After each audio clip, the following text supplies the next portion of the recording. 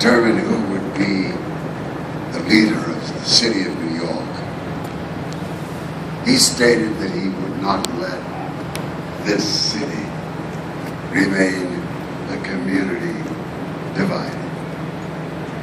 He would no longer let this city linger in the shadows as a parallel story of Charles Dickens's A Tale of Two Cities. He inspired us. We listened, and we overwhelmingly responded with a joyous sense that all things were possible. We made him our man. While it is encouraging to know that the statistics have indicated a recent drop in our city's murder rate, New York, longingly, plays a tragic role in the fact that our nation has the largest prison population in the world. Much of that problem stems from issues of race, perpetuated by the depth of human indifference to poverty. The stop and frisk law is as important as it is the change of the law is only the tip of the iceberg in fixing our deeply Dickensian justice system. Bill de Blasio has been overwhelmingly mandated to make many who for much too long danced with despair believe again the American that the American dream is attainable. A dream filled with hope. A dream filled with opportunity and justice. Bill de Blasio was born at a time when courage and moral vision were often on display. He was touched by the political convictions of Franklin Delano Roosevelt and the indomitable courage and wisdom of his wife, Eleanor. Martin Luther King Jr.'s valiant leadership of the civil rights cause profoundly influenced him.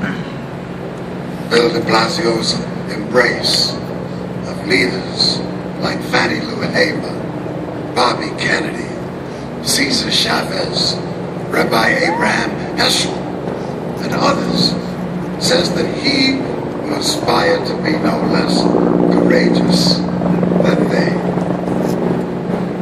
In the challenge to the inequities we face, New Yorkers should ensure our man that he will not stand alone in facing the naysayers of progress in our midst.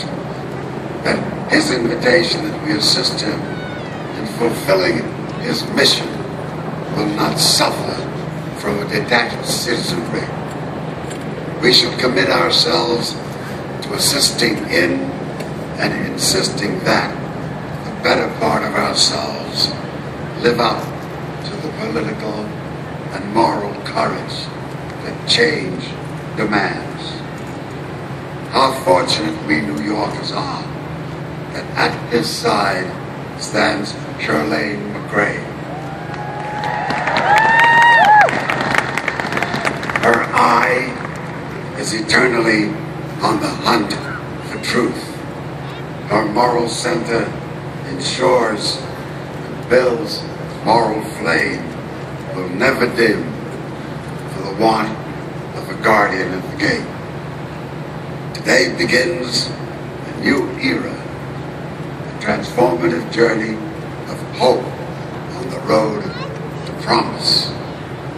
We have seen America wrestle with her conscience.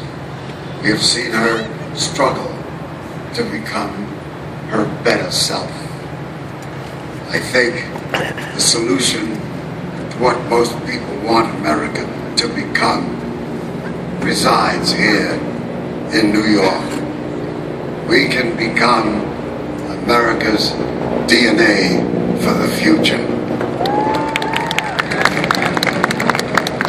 Bill de Blasio gives New York another opportunity to open the door of possibilities.